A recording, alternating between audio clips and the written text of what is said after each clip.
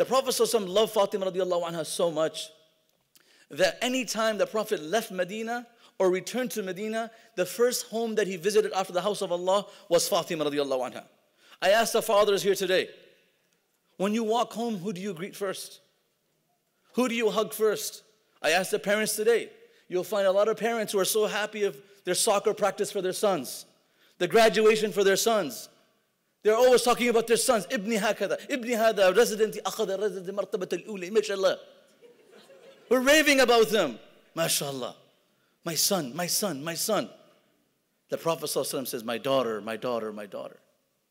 And until you don't give the same equal respect, you haven't built the confidence in your children. And if you want your daughter to be like Fatima, you have to embed that character of Rasulullah that gives that self respect, self confidence to our young sisters who are, who are raised to be independent. Just educating them doesn't make them secure.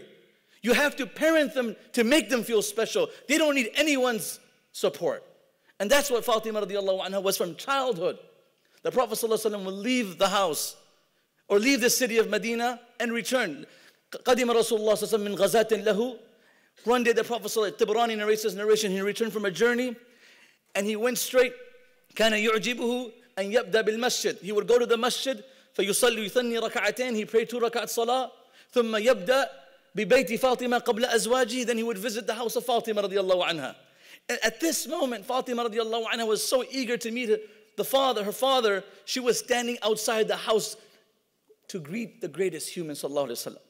And as the Prophet صلى الله عليه وسلم arrives to visit his beloved daughter, she's weeping. She's crying. He said, Ma yubkiki ya Fatima, why are you crying? What makes you cry? To have this type of relationship with your child, when your child sees you in distress, they can feel it. Today, parents are worried, children like, I got my own worries. You don't know what I'm going through.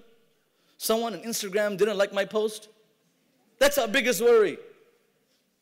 Our biggest worry is what people are thinking about us. What community members are doing. They're buying a better car or a better house. We're not miserable because we don't have, we're miserable because we think people have more than us. We're miserable because we're not happy to see other people happy. And we're complaining about this. We don't even have time to see our parents who are going through struggles. And Fatima radiallahu sees her father struggle. This is how dear and close he was to, she was to Rasulullah. She started to weep And says, Ma yubkiki ya Fatima. What's making you weep? He says, Ya Rasulullah, قد شحب لونك شحب لونك وخلغلق ثيابك. Look at your face. Look at your clothes. This is not the father that I remember.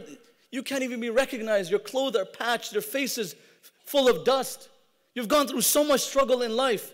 And then the Prophet ﷺ says to her beloved, uh, to his beloved daughter, لا تغشى يا بني فإن الله بعث أباك لا يبقى على ظهر الأرض بيت مدن ولا وبر إلا أدخله الله كلمة الإسلام بعز عزيز أو ظل ظليل Oh my daughter don't worry for me Don't fear any loss for your great father Allah has sent your father for a mission and a job and a task that Allah promises that will reach corners and far aspects of life. Every human will hear of this. Look at here in America. If you take a picture and you show this picture to overseas in some country and you talk about this level of dedication in the States is a prediction of the Prophet's prophecy that time will come, the Islam will reach corners of the world. Don't worry about that. Everyone will hear of the beauty of Islam.